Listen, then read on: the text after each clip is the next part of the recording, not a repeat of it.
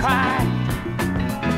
How it rumbles, how it tumbles, how its tears fall from its eyes.